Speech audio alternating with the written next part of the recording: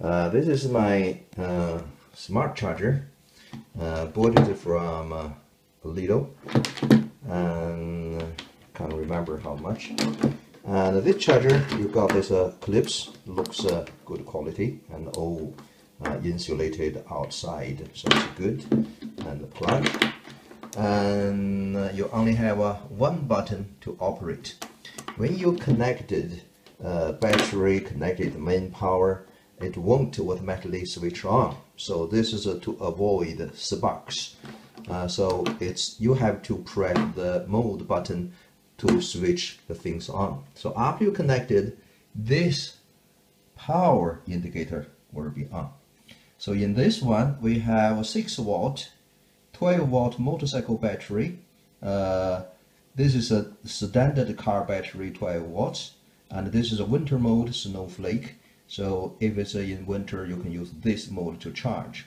So basically, you select uh, a mode by using this switch. So we have four mode here, and that is a charging, and that is a full indicator. When it's full, it will indicate that.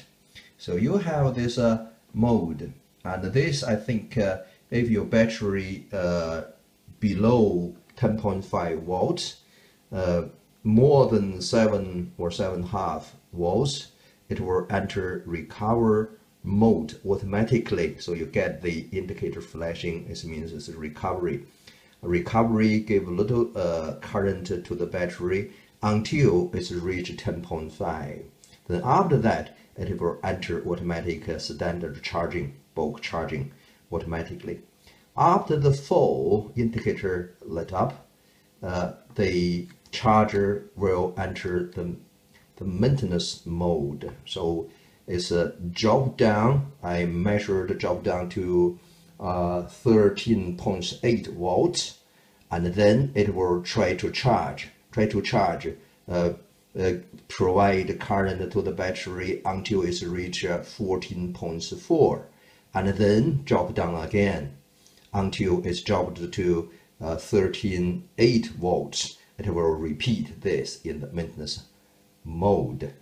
And for charging, the uh, motorcycle mode is uh, 14.4 volts.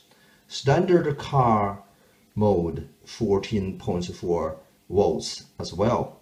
But for the winter mode, snowflake mode, it will provide voltage charge battery up to 14.7 volts so sometimes this is useful.